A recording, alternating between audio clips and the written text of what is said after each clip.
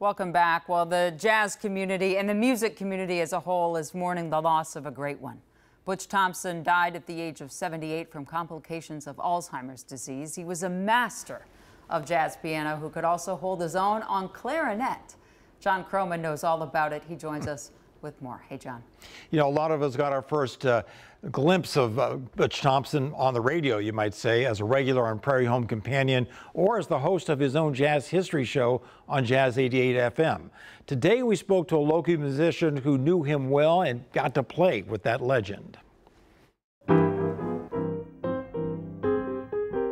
We had a living person in the 21st century playing the music that was that in, that started it all in jazz. In the world of traditional jazz, Butch Thompson was a superstar. His work on piano was captured on vinyl, and more recently, clips posted to YouTube. Sometimes as a soloist, sometimes joining a combo like Tony Balluff's Southside Aces. We played uh, about once a month for a couple of years, and it was um, an amazing blessing for us we uh, really, we would have to pinch ourselves every time we were about to go on stage with him. Anytime there was more than one clarinet on a stage and we'd get done with something like that, he, he would turn to us and he would say, I never heard anything like it. Not exactly a compliment, I don't think. but that was, that was his sense of humor. He had the driest and most wonderful sense of humor, too.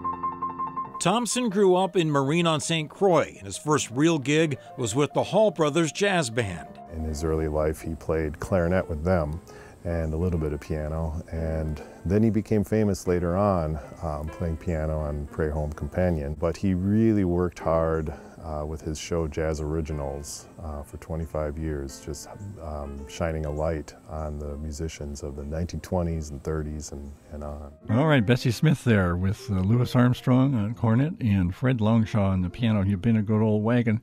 And that's it for the Jazz Originals program uh, today. He was this treasure trove of knowledge about that era.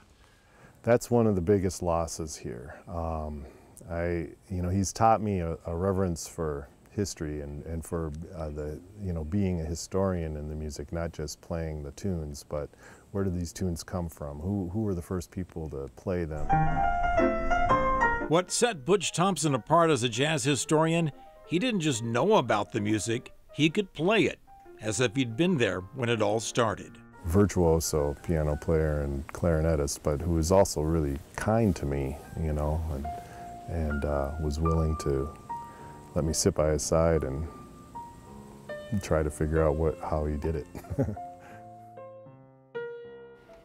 well, Butch Thompson clearly had quite an impact on preserving early jazz and making sure pioneers, names like Jelly Roll Morton and Kid Ory, weren't forgotten.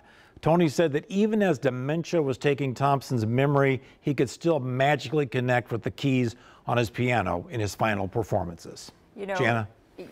They mentioned Butch's kindness, and, and I, we got to tell our viewers, you met him here at KARE 11, and I know that you talked to him in the break room. You were like, hey, hey, hey, hey, yeah, I'm John Croman. I, I was all, all fangirl with him because I'd heard him on the radio, and it was kind of awestruck, and I'd ask him about, hey, who played tenor sax on this one Dorsey Brothers record? And he'd like, oh, that was so-and-so, and like, because I know, I knew he would know, you know, but I was probably just annoying him, but it was, it was great to get to see him in person. Well, I bet it was a pretty cool memory for you. Thanks for giving us the story, John. We appreciate sure. it. We'll be right back.